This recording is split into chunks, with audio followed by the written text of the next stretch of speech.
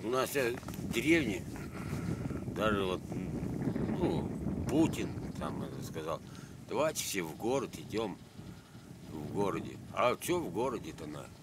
Вот деревни тебя все пустуют. Я вот сколько шел, вот, целые деревни пустуют, дома, да вся деревня пустует, никого там нет, дома добротные, все добротное. Люди бегут оттуда, все в город бегут. А в городе как там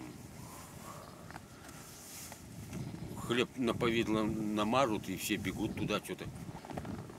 Вот я вот, например, сам вот по себе вот сужу вот, вот так. Я вот взял, вырастил 170 свиней, сам лично. Корм был, все на. Я куда вот свое вот мясо, вот я сдавать не буду его куда-то туда, какой-то мероприятие или туда. Нет, я его сдавать не буду.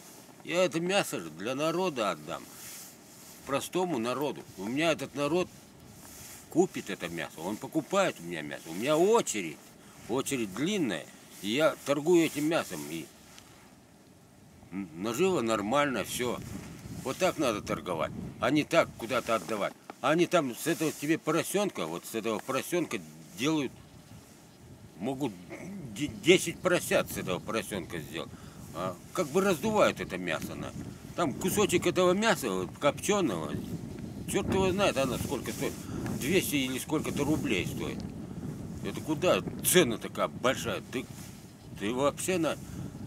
Вот кто вырастил там, например, поросенка, сдал его туда, он все там получил. Ну, копейки получит за этого поросенка. А сколько он труда затратил вот на это вот, на это вот скотину туда-сюда.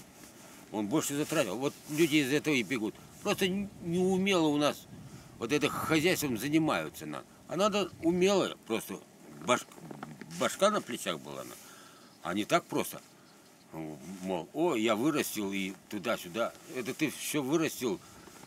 Вот, например, ты сдал, а оно потом, это вот все твое мясо просто в помойку превратится. Оно ни в то, ты от него ничего не будет. Все. Там возьмут кусочек, продадут вот ты сколько корма затратил, а вот этот кусочек мяса, вот получается, его продадут за большие цены, там, черт его знает. И вообще там безобразие это делается. В этом